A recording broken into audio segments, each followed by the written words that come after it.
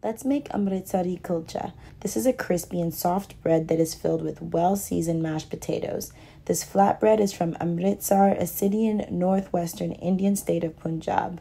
It is similar to naan, but this recipe is leavened with baking soda and baking powder. It can be eaten with chole or dal makhani, but I've served it here with tamarind chutney. The filling is so flavorful with many dried spices like cumin, coriander, carom seeds, Kashmiri chili powder, and fresh ingredients like green chili, cilantro, ginger, and finely diced red onions added right before the filling is used.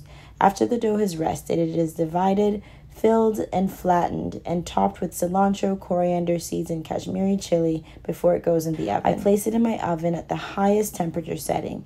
It puffs up beautifully and the top becomes nicely browned, slightly crispy, while the interior is left hot, steamy, and soft.